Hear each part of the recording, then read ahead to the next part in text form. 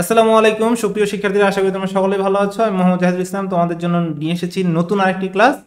আজকে আমরা আলোচনা করব উচ্চ মাধ্যমিকের তথ্য যোগাযোগ প্রযুক্তির তৃতীয় অধ্যায়ের প্রথম অংশের পরিপূরক ও টুস কমপ্লিমেন্ট রিলেটেড যত ধরনের সমস্যা আছে সবগুলো নিয়ে।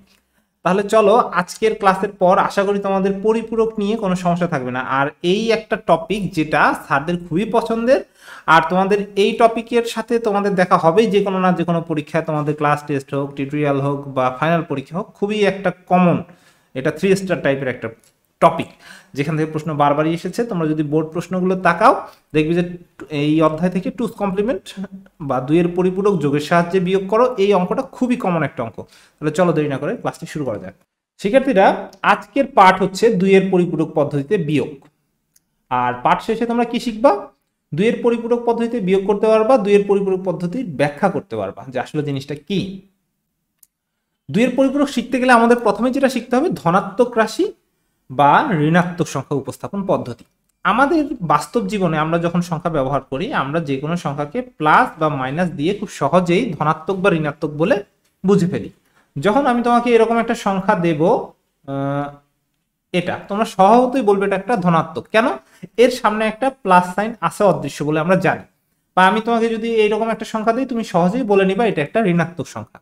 কিন্তু যখন তোমাকে বাইনারি কোনো সংখ্যা দেওয়া হবে, সেই সংখ্যাটি কোনটি ধনাত্মক, কোনটি ঋণাত্মক কম্পিউটার সেটা কীভাবে বুঝবে? এটা একটা কম্পিউটারের কাছে সমস্যা, কারণ কম্পিউটারের কাছে না আছে প্লাস চিহ্ন, না আছে মাইনাস চিহ্ন। তার কাছে এই দুটোর চিহ্ন কোনোটাই নেই। তার কাছে শুধুমাত্র আছে শূন্য আর এক। এই দুটো দিয়েই তাকে সব কাজ করতে হয়। সংখ্যা লিখতে হয়, সবই করতে হয়। এখন তাহলে সে কীভাবে বুঝবে ধনাত্মক কোনটা এবং ঋণাত্মক কোনটা? কারণ অঙ্ক করতে গেলে তোমাকে ধনাত্মক, ঋণাত্মক পজিটিভ নেগেটিভ দুই ধরনের সংখ্যাই লাগবে। বিয়োগ করতে গেলে ধনাত্মক, ঋণাত্মক সংখ্যা যোগ করলে বিয়োগ হয়। তুমি যদি ঋণাত্মক সংখ্যা বের না করতে পারো, কোনটা ঋণাত্মক তুমি বলতে না পারো, তাহলে তুমি বিয়োগটা করবে কীভাবে, তাই না? তাহলে চলো দেখি আসি আমাদের কি সমস্যাটা কীভাবে করা যায়। সুপ্রিয় শিক্ষার্থীরা, কম্পিউটারে আমরা কোনো সংখ্যার সাথে কোনো সংখ্যা যোগ বিয়োগ করার নির্দেশ দিলে প্রথমে ডেসিমেল সংখ্যাটি বাইনারি সংখ্যায় রূপান্তর করতে হয়। প্রতিটি সংখ্যার এক ও শূন্যকে এক বিট জায়গা করে থাকে। আট বিট মিলে হয় এক বাইট কম্পিউটারের আট বিটে বিন্যস্ত হয়ে থাকে। ধনাত্মক সংখ্যাটি যদি ছোট হয়, তাহলে ডান দিক থেকে সংখ্যা বসে বাম দিকে শূন্য দিয়ে পূরণ করতে হয়। এটা হচ্ছে উপস্থাপন পদ্ধতি। আর ঋণাত্মক সংখ্যা প্রশ্নের জন্য তিনটি পদ্ধতি রয়েছে। একটি হচ্ছে চিহ্নযুক্ত মান গঠন। আর একের পরিপূরক গঠন এবং দুইয়ের পরিপূরক গঠন। এখন এটা পড়তে কেমন একটা হিজিবিজি লাগতেছে, তাই না? আমি এটাকে আরেকটু ক্লিয়ার করে দিই তোমাদেরকে। ধরো, একটি ধনাত্মক সংখ্যা তোমাকে বলা হচ্ছে সাত। সাত কম্পিউটারে কে বলবে এটা একটি ধনাত্মক সংখ্যা। তুমি কীভাবে বলবে সাত ধনাত্মক সংখ্যা? প্রথমে সাতের বাইনারি বের করো। সাতের বাইনারি কত? সাতের বাইনারি হচ্ছে ট্রিপল ওয়ান তাই তো? এটা যদি সাতের বাইনারি হয়, কম্পিউটার এটা ধনাত্মক কীভাবে বুঝবে? বুঝবে এক এক এক এটা আট বিটের রেজিস্টারে রূপান্তর করতে হবে। তার জন্য সামনে কয়টা শূন্য দিতে হবে? পাঁচটা শূন্য দিয়ে দিতে হবে। তাহলে সে বুঝে যাবে যে এটি একটি ধনাত্মক রাশি। কিন্তু তোমার সাতকে বলা হলো তোমার মাইনাস সাত। মাইনাস সাত কিন্তু সহজে সচরাচর থাকে না। এটাকে রূপান্তর করে নিতে হয়। এটা ঋণাত্মক সংখ্যা প্রকাশ করতে হলে তোমাকে তিনটা ধাপ পার করতে হবে। সেই তিনটা ধাপ হচ্ছে প্রথমে চিহ্নযুক্ত সংখ্যায় রূপান্তর করতে হবে, পরিপূরক করতে হবে, দুইয়ের পরিপূরক গঠন করতে হবে। সেটাই আমরা শিখে আসি কীভাবে আমরা এটা করি। চিহ্নযুক্ত প্রকৃত মান গঠন। কোনো বাইনারি সংখ্যা ধনাত্মক নাকি ঋণাত্মক তা বোঝার জন্য এর সর্ববামে একটি বিট ব্যবহার করা হয়। এই বিটকে বলা হয় সাইন বিট চিহ্ন বিট শূন্য হলে বাইনারি সংখ্যাটি ধনাত্মক, এক হলে সংখ্যাটিকে ঋণাত্মক বলা হয়ে থাকে। ঠিক আছে? এই পর্যন্ত ক্লিয়ার চিহ্নযুক্ত সংখ্যার চিহ্নিত মান বা সাইন নাম্বার বলা হয়ে থাকে। প্রকৃত মান বোঝানোর জন্য চিহ্নযুক্ত সংখ্যা ব্যবহার করা হয়। ধনাত্মক সংখ্যার ক্ষেত্রে চিহ্ন বিট ছাড়া বাকি অংশটি সংখ্যার মান জ্ঞাপন করে। এখন এটার আমরা একটা উদাহরণ দিতে পারি। কেমন উদাহরণ? ধরো আমি তোমাকে একটা সংখ্যা বললাম, যেটি বললাম আমরা সাতের নিয়ে আলোচনা করতেছিলাম। সাতের বাইনারি হচ্ছে এটা। তাই তো?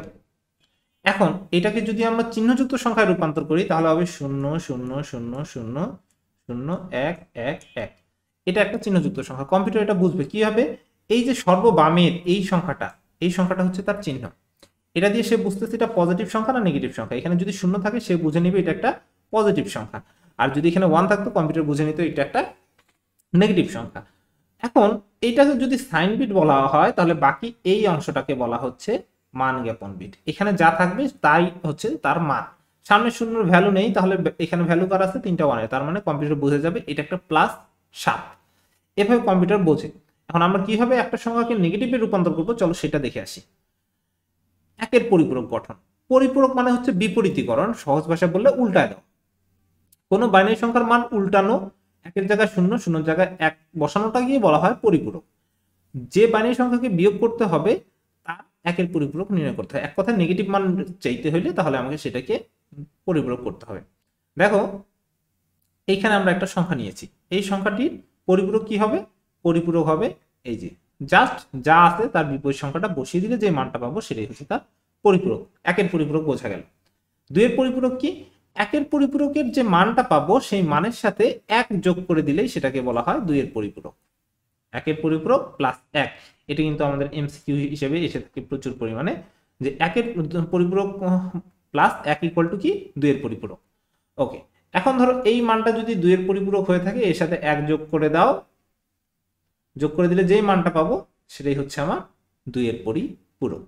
এখন গঠনের উদাহরণ দেখি। এখন এখানে বলা হলো মাইনাস সাতকে আট বিট দিয়ে দুইয়ের পরিপূরক গঠন করো।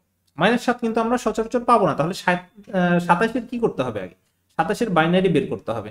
কিন্তু আমরা পাবো প্রথমে কি? প্লাস সাতাশ। এখন সাতাশের বাইনারি মান হচ্ছে এটা। এখন এটাকে যে প্লাস সাতাশ, তার জন্য সামনে কি করা হলো? এটাকে আট বিটে রূপান্তর করা হলো। আট বিটে রূপান্তর করে সামনে সাইন দিয়ে দেওয়া হলো প্লাসের এই শূন্য মানে প্লাস আর বাকি এটা মান। তাহলে মানটাও আমার কোনো সমস্যা নাই, পেলাম। তারপরে আমরা কি করব?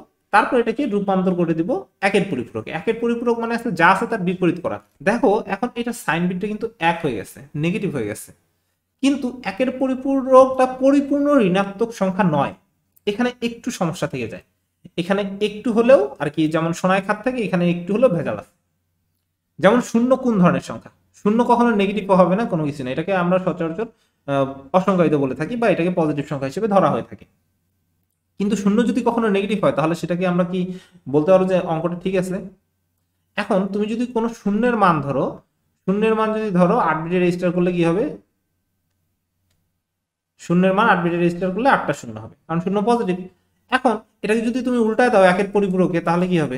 শূন্যর মান, এটা দাঁড়ায় না, শূন্যর মান নেগেটিভ কিন্তু শূন্য কি কখনো নেগেটিভ হওয়া সম্ভব? সম্ভব না। তার মানে একের পরিপূরকের সমস্যা আছে। কিন্তু এর সাথে এক যোগ করে দিয়ে দেখো মানে দুইয়ের পরিপূরক করে দেখো, এক এক যোগ করলে দুই, দুইয়ের মান দশ, শূন্য দশ, শূন্য শূন্য শূন্য শূন্য শূন্য শূন্য শূন্য, এক। দেখো, এখানে সাইন বিট চলে আসলো প্লাস আর এই অতিরিক্ত যে বিটটা থাকল, এই বিটটাকে বলা হয় ক্যারি বিট ক্যারি এই ক্যারিকে হিসাবে ধরা হয়। এ হিসাবের বাইরে চলে গেল। তাহলে আমরা বুঝতে পারলাম যে কেন আমরা দুইয়ের পরিপূরক করি। একের পরিপূরক করলেই আমি ঋণাত্মক সংখ্যাটা পাচ্ছি, কিন্তু তারপরেও সংখ্যাটার মধ্যে একটু হলেও বিশুদ্ধতার অভাব আছে। এই বিশুদ্ধ ঋণাত্মক সংখ্যা তৈরি করার জন্য আমাকে দুইয়ের পরিপূরক করতে হয়। তাহলে আমি যখন এখানে বিশুদ্ধ একের পরিপূরকের সাথে যোগ এক করে দিলাম, তখন আমি যে সংখ্যাটা পেলাম সেটা হচ্ছে বিশুদ্ধ মাইনাস সাতাশের মান। তাহলে আমরা এই মানটাকে বলতে পারি, এটা পরিপূর্ণ একটা বিশুদ্ধ মাইনাস সাতাশ, নেগেটিভ মান। তাহলে আমরা বুঝতে পারছি আশা করি। এখন আরও একটা উদাহরণ আমরা করি, এই যে পনেরোকে তোমার আট বিট রেজিস্টার দিয়ে করো। কারণ স্বাভাবিকভাবে পনেরো বাইনারি বের করবা, আট বিট রেজিস্টার করবা, তারপরে সেটাকে পরিপূরক করবা, যোগ করে দিবা এবং মানটা যা তাই। এখন গুরুত্ব কি? পরিপূরকের গুরুত্ব আমি অলরেডি কিছুটা বলে দিছি, যে যোগ ও বিয়োগের কাজ একই বর্তনীতে সম্পন্ন করা যায় বলে দুইয়ের পরিপূরক গুরুত্বপূর্ণ। এটা একটা প্রধান গুরুত্ব। আর চিহ্নিত সংখ্যা বা অচিহ্নিত সংখ্যা যোগ করার জন্য একই বর্তনী ব্যবহার করা যায় বলে দুইয়ের পরিপূরক গুরুত্বপূর্ণ। দুইয়ের পরিপূরক সংখ্যার জন্য গাণিতিক বর্তনী সরল, সস্তা এবং দ্রুতগতি সম্পন্ন। প্রধানত ঋণাত্মক মানের নির্ণয়ের জন্য দুইয়ের পরিপূরক পদ্ধতি ব্যবহার করা হয়। এখন এই যে গুরুত্বটাও কিন্তু খুবই আসে। দুই মার্কের জন্য তোমাদের পরীক্ষায় প্রচুর পরিমাণ আসে। দুইয়ের পরিপূরকের গুরুত্বটা খুব ভালো মতো পড়বা এবং এটা কিন্তু পারলে নোট করে নিও। এখন দুইয়ের পরিপূরক ব্যবহার করে বিয়োগ করব কীভাবে? এখানে একটা প্রশ্ন থেকে যায়। এটাতে সাধারণত যোগের মাধ্যমেই বিয়োগ করা হয়। কীভাবে যোগের মাধ্যমে বিয়োগ হয়? ধরো একটা পজিটিভ সংখ্যা, একটা নেগেটিভ সংখ্যা যোগ করে দিলে কি হবে? তোমাকে বলা হলো যে সাতাশ বিয়োগ ছাব্বিশ। যখন ব্রাকেটটা তুলে দেওয়া হয়, কি হয়? সাতাশ প্লাস মাইনাসে মাইনাসে ছাব্বিশ। তখন তোমার এই মাইনাস আর প্লাস দুটাকে যোগ করে দিলেই তো বিয়োগ হয়ে যায় প্লাস মাইনাসে বিয়োগ হয়ে যায়। এইটাই এখানে মূলত কনসেপ্টটা কাজ করে। দেখো, যে বাইনারি সংখ্যা বিয়োগ করতে হবে তার বিয়োজ্য সংখ্যা দুইয়ের পরিপূরক মান বের করতে হবে। যেটাকে বিয়োজ্য, যেটা বিয়োগ করবে তাকে। যে বাইনারি সংখ্যা হতে বিয়োগ করতে হবে, তার বিয়োজক সংখ্যার সাথে দুইয়ের পরিপূরক মান যোগ করতে হবে। করলেই হয়ে গেল। যদি এক থাকে, তবে ক্যারি বাদ দিলে বিয়োগফল পাওয়া যাবে এবং বিয়োগফল ধনাত্মক হতে হবে। এটা স্বাভাবিক ব্যাপার। আর যদি ক্যারি না থাকে, তাহলে প্রাপ্ত যোগফলকে দুইয়ের পরিপূরক করলে বিয়োগফল পাওয়া যাবে। এক্ষেত্রে প্রাপ্ত বিয়োগফল ঋণাত্মক হবে। এখানে স্বাভাবিকভাবে অনেক ক্ষেত্রে ঋণাত্মক সংখ্যা আসতে পারে। এখন এটা থেকে এটা বিয়োগ করো দুইয়ের পরিপূরক পদ্ধতিতে। তাহলে কীভাবে আসবে? একের পরিপূরক পদ্ধতির মান কত? উল্টায় দিলাম, মানটা উল্টা দিলে এটা। তার সাথে যোগ এক করলাম, তাহলে মানটা পেলাম কত? এটা।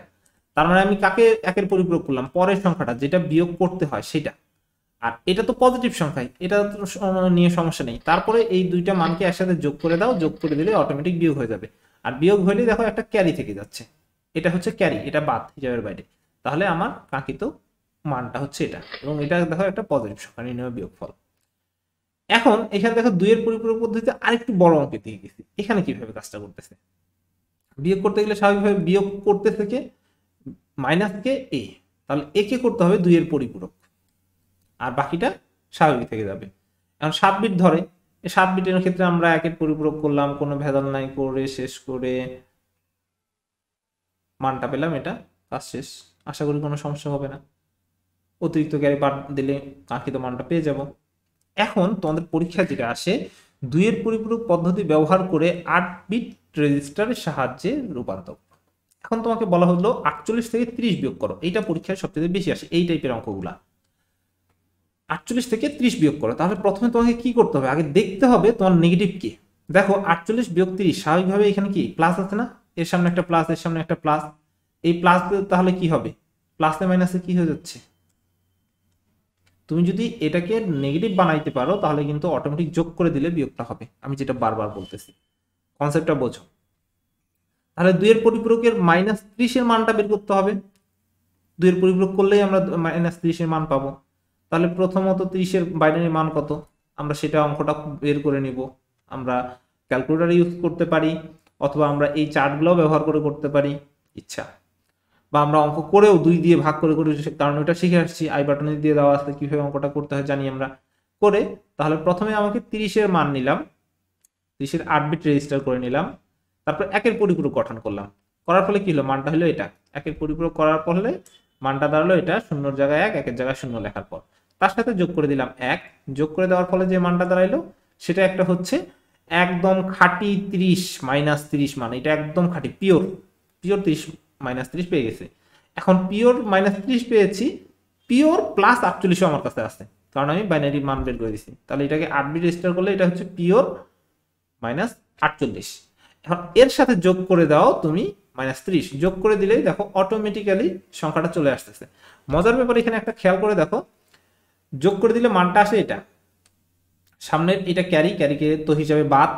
এখানে শূন্য শূন্য বাদ মানে একটা পজিটিভ সংখ্যা। যদি এটা বিয়োগ করো, স্বাভাবিকভাবে আসবে আঠারো। এখানেও করলে আসবে কত? আঠারো। এই আঠারো দেখো, এইটার মানও আঠারো। কি হবে?